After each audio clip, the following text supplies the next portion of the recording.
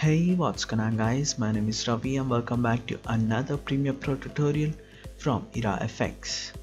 So in this video we'll be learning to edit this type of reaction video inside Adobe Premiere Pro.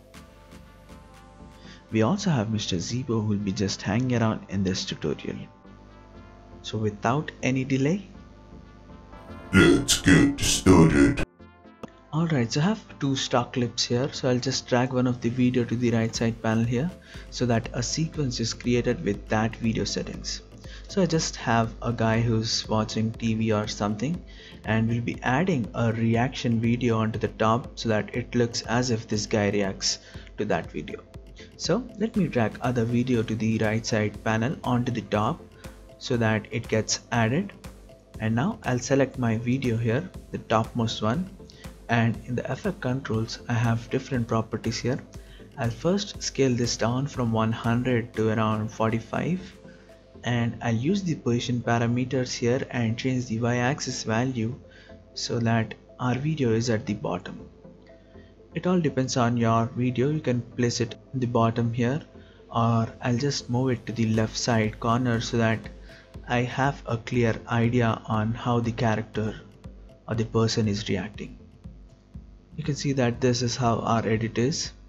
But in order to make it much better, we'll be adding some borders to our video on the top.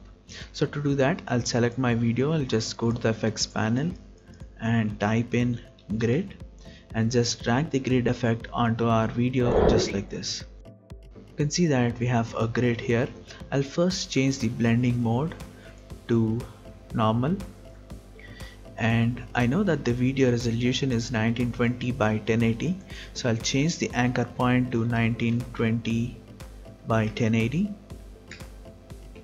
and I'll also change the size from center point to width and sliders. And also change the width and height to 1920 by 1080 once you do that you can see that an outline is created but to have a thicker borders just increase the border value from 5 to around 45 or 50 so now you have a clean border or outline to our video. Another thing you can do is you can change the color of our border by changing the color here. I'll just set this to dark blue and hit OK So this is how you make a react video inside Adobe Premiere Pro. I hope you like this video and if that's the case give us a thumbs up and if you'd like to talk with me regarding visual effects and video editing you can always reach out to me on Instagram at VFXGuyRavi. Mr. Zebo would you like to add something? Subscribe for more tutorials. Alright so see you guys next time with another tutorial.